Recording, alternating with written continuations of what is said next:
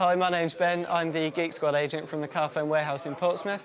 Um, I'm going to be spending a few minutes today talking to you about how to update the software on your BlackBerry.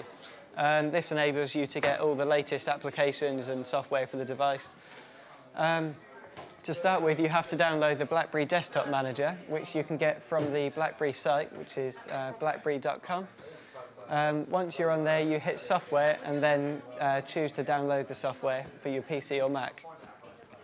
Once you've downloaded it, you have to connect your phone to the computer and then hit Application Loader inside the BlackBerry Desktop Manager and then hit Check for Updates. And once that's loaded, you'll get a list of all the updates that need to be done for the device. Um, you just simply hit the boxes and then hit Next. And then it updates it all for you. This can take up to about 15 minutes, depending how many, how many you have. And that's how simple it is.